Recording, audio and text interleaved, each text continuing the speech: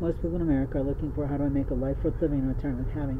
When we do this, we're looking for what we can do and what we can't do in order to produce for us a new life. To produce for us a new life, we have to be willing to listen and learn.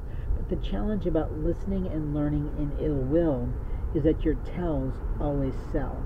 What I mean is that you're always giving a tell. And the tell is obvious that you're listening to something that you didn't have any right to know existed, and opening your tell because the language you choose sounds often like the person you're listening to. Now, how do we think about that? Well, usually we do listen to things and we do learn things and then we do adjust it to fit our own mouths, our own souls. But if you're listening to do ill will, then you're not listening at all.